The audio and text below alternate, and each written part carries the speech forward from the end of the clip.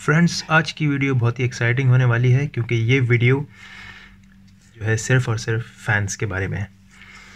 अच्छा DC brushless fans ये आपको मार्केट में कहीं भी मिल जाएँगे। प्रिंटर्स पीसी और सर्वर्स हर जगह इनका इस्तेमाल होता है। कूलिंग के लिए इसको यूज़ करते हैं। इन्हें कूलिंग फ़ैन का भी नाम दिया जाता है। बेसिकली ये इनमें आने वाली परेशानियाँ मैं आपको बताता हूँ। एक तो डीसी फ़ैन इस तरीके से होते हैं जिनमें कलर कोडिंग वायर्स होते हैं।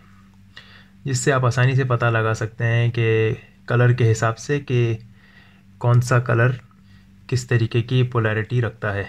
मतलब अगर ब्लैक कलर है तो आपको एवरीबडी नोस मेरे ख्याल से ज़्यादातर लोग जानते हैं जो भी इलेक्ट्रॉनिक्स का काम करते हैं कि black is equal to minus black stands for minus and red stands for plus so positive charge आपने इसमें देना है नेगेटिव चार्ज इसमें देना है।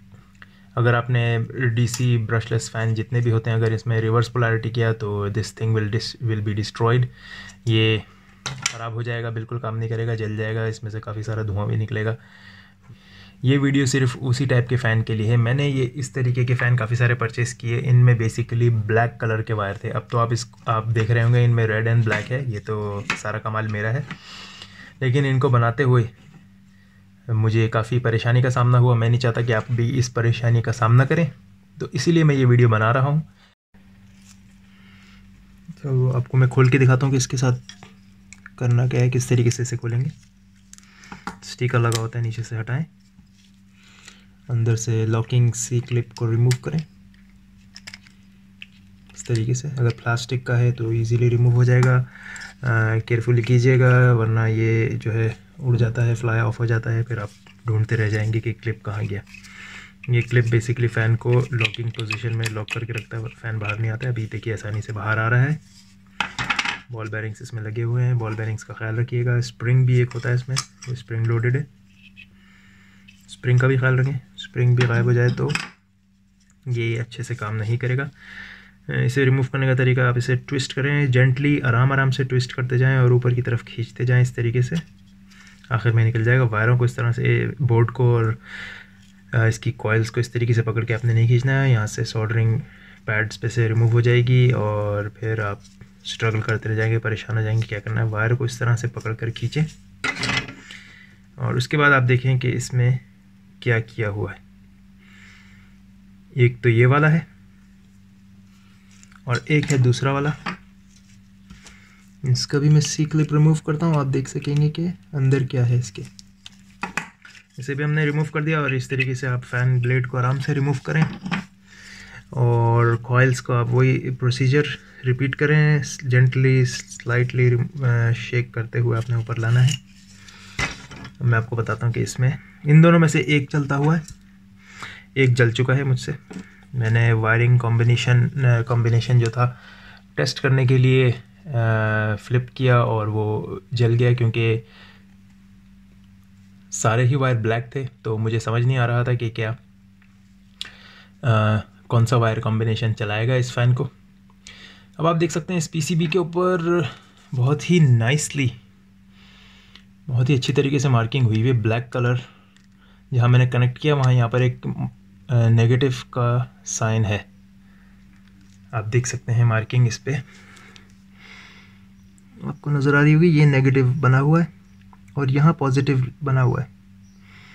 तो पॉजिटिव पे आपने रेड वायर लगा देना है पॉजिटिव आपका यहाँ लग जाएगा, यहाँ नेगेटिव लग जाएगा। पॉजिटिव की एक और निशानी ये है कि ये पॉजिटिव जो हमेशा डायोड के साथ लगा होता है। तो वहाँ आपने पॉजिटिव दे देना है, अगर प्रिंट नहीं हुआ है तो। कुछ मिसअंडरस्टैंडिंग ना हो, इसलिए मैंने आपको एक क्लू दे दिया।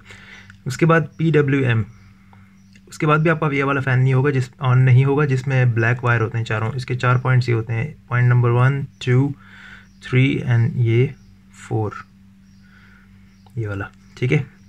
तो फोर्थ पॉइंट जो है पी डब्ल्यू एम लिखा हुआ है। अगर फोर्थ हो या सेकंड हो, कहीं भी पी डब्ल्यू एम लिखा है, उसे आपने शॉर्ट कर देना है पॉजिटिव के साथ और आपका फ़ैन चलने लगेगा। और फिर आपको कोई परेशानी नहीं होगी। आप पहली तो चीज़ ब्लैक वायर वाले जो होते हैं, जिसमें चारों ही ब्लैक होते हैं, उसमें सबसे बड़ी परेशानी होती है कि पॉजिटिव और नेगेटिव आपको पता नहीं चल रहा होता है। अगर बोर्ड पे प्रिंटेड है तो आप पॉजिटिव और नेगेटिव देख कर वहाँ से ऑर्डर कर लें। बाहर से आपको ताकि परेशानी ना हो रेड एंड ब्लैक वायर आप इजीली पॉजिटिव और नेगेटिव के लिए चुनाव कर सकें, उसका पता लगा सकें। नहीं है तो आप खोल कर देखें नेगेटिव आपका साइन लिखा हुआ होगा पॉजिटिव के लिए, आपको, मैं आपको ये कंफर्म करता हूँ कि डायोड के साथ लगेगा हमेशा। पॉजिटिव जहाँ डायोड होगा, वो पॉजिटिव होगा। और उसके साथ आपने पी को शॉर्ट कर देना है, वरना ये वाला फ़ैन स्पेशली जो ऑल ब्लैक कोडेड वायर वाला है, इसके अंदर पी के साथ इसे शॉर्ट करना ज़रूरी है, वरना ये बिल्कुल नहीं चलता। अब पावर करेक्ट पोलैरिटी में भी देने के बाद भी ये ऑन नहीं होता। तो इन फ़ैनों में ये एक ख़राबी है। मेरे ख्याल से ये ओल्ड वर्जन्स हैं डी डीसी ब्रशलेस फ़ैन के। लेकिन काफ़ी ड्यूरेबल हैं और अगर आपने ख़रीद लिया गलती से परचेस कर लिया है तो घबराने की बात नहीं है। ये एक तरीका है जो इस तरीके से आप इस फ़ैन को चला सकते हैं। अब मैं इसे वापस असेंबल कर देता हूँ। आप देख सकते हैं। असेंबल करने का तरीका बड़ा सिंपल है। वायरों को ट्विस्ट करें। आ, इसके वायरिंग चैनल से पास करें इसे। ज़रा ध्यान ये रखना है आपने कि वायर खींचे नहीं, वरना ये जो बोर्ड है, इस पर से वायर स्ट्रिप हो जाएँगे, फिर ये फ़ैन के वायर आपको ट्रेस करना बड़ा मुश्किल हो जाएगा कि कहाँ जाकर इसे आपने सॉर्डर करने हैं। देखिए, इस तरीके से आपने ये कर दिया और ये फ़ैन आपका इसके ऊपर लग गया। पीछे वाला बॉल बेरिंग भी लाजिम लगाइएगा, वरना काम नहीं करेगा। मैं इसे वापस असेंबल कर रहा हूँ आपके लिए क्विकली वीडियो काफ़ी लंबी हो चुकी है। उम्मीद है आप लोग बोर नहीं हो रहे होंगे। अगर बोर हो रहे हों तो उसके लिए माजरत इसके लिए सॉरी कर सकते हैं। आ, ये दोनों वायर्स को भी हम यहाँ से पास करते हैं बाहर की तरफ़। यहाँ से बाहर निकला आए और इस तरीके से आपने इसे ट्विस्ट करके बिठा दिया। मदरबोर्ड इसका पीसीबी आराम से फिट हो गया है। वायर्स को आप ट्विस्ट कर लें ताकि एडजस्ट हो जाए अच्छे से। यहाँ से फ्लैट रहना चाहिए, वरना ये फ़ैन ब्लेड से टकरा सकता है। फ़ैन ब्लेड को वापस आप इंस्टॉल करें। पीछे वाले बॉल बैरिंग को आप चेक करें। सही तरीके से इंस्टॉल है। सी क्लिप मेटालिक है तो इसे थोड़ा सा एडजस्ट करें। थोड़ा सा इसे मैं प्रेस करूँगा ताकि वो नज़दीक आ जाए लॉक अच्छे से बंद हो सके। वीडियो बन रही है मैं आपको अभी टेस्ट भी करवाऊँगा ये। इन दोनों में से एक फ़ैन चलता है। जैसे कि मैंने बताया, एक फ़ैन मुझसे जल गया था। वायरिंग कॉम्बिनेशन चेक करने के दौरान। और यही हादसा आपके साथ ना हो। इसीलिए ये वीडियो बना रहा हूँ। ठीक है? वीडियो हेल्पफुल लगे तो लाइक शेयर एंड सब्सक्राइब ज़रूर कीजिएगा। स्टिकर ऑप्शनल है, वापस लगाना है तो लगा दें। अच्छा है डस्ट प्रूफ रहेगा आपका पीछे से fan let's check it out कौन सा वाला चल रहा है? ये वाला ख़राब है। पोलैरिटी का ध्यान रखें नेगेटिव नेगेटिव में जाएगा, हमेशा पॉजिटिव पॉजिटिव में जाएगा, वरना ये डीसी ब्रशलेस फ़ैन जो है ना, ये एक मिनट भी नहीं लगता इन्हें जलने में। दूसरा फ़ैन चेक करते हैं, जो हमने अभी अभी आपके सामने बंद किया है। और ये देख सकते हैं आप, ये चलेगा इंशाल्लाह। और ये मुझे ठंडी ठंडी हवाएँ दे रहा है। इट्स वर्किंग आप देख सकते हैं। तो वीडियो बनाने का मकसद, अगर आपने इस तरीके का फ़ैन परचेस कर लिया जिसमें सारे वायर ब्लैक होते हैं, घबराइए नहीं, ओपन करके देखें, शायद आपके पैसे बच जाएँ।